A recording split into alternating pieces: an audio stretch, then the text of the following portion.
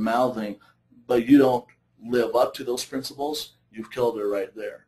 When you make decisions and uh, and you speak about, yeah, we need to empower and we need to, uh, we're going to develop some self-directed action with our teams and we're going to be able to uh, put, create an innovation engine into the organization. But at a certain level, you're hoarding power or you're not sharing information or you're making a decision to make yourself look better instead of raising the view of your employees kills it right there, right? All these different things. Um, we need to cut through the red tape, make decisions happen faster, create more transparency, more communication, and leadership example, leaders who actually will exemplify exactly, exactly where you need to go and how you're going to achieve it, focusing on what's right instead of who's right is critical.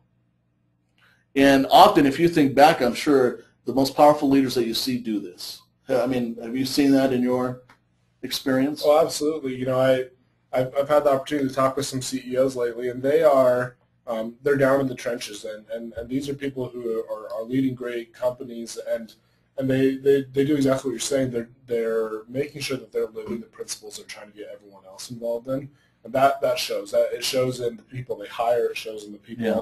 that they develop. Um, they they they want to become like these CEOs. We just started working with an organization, and as we did a survey, we heard this phrase a lot: mahogany row. What did that mean? It meant that they everybody in this organization felt that mahogany row, or the executives of the company, never wanted to touch foot where they were, didn't want to talk to them. I mean, they literally had a cultural phrase like mahogany. Row. Oh, well, that's mahogany row. Yeah.